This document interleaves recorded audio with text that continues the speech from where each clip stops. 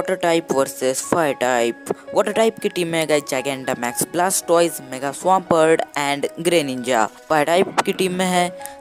gigantamax Charizard mega Blaziken and Cinderace round one होगा Greninja versus Cinderace and ये battle जीतेगा Greninja क्योंकि उसके पास है टाइप एडवांटेज सेकेंड राउंड होगा mega Swampert versus mega Blaziken and इन दोनों की पावर बिल्कुल इक्वल लेवल की है तो मैं किसी को भी इसमें विनर नहीं घोषित करने वाला। ये बैटल टाई हो जाएँगी। फाइनल राउंड होगा